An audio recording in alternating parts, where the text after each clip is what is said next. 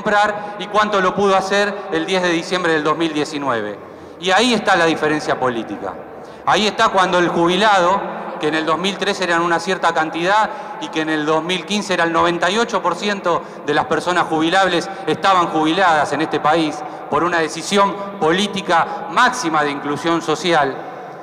Pero la clave está ahí, en cuánto consumía el trabajador, el jubilado mínimo en el año 2015 con todos los palos en la rueda que tuvo el gobierno de Cristina y de Néstor en función de los intereses nacionales y de las corporaciones que después bien que acompañaron al gobierno de Mauricio Macri, y cuál era el poder adquisitivo real de las clases populares, de los trabajadores y de los jubilados el 10 de diciembre del 2019. Creo que sobre concreto ahí tenemos los datos y ahí tenemos la realidad. Muchas gracias, señora Presidenta.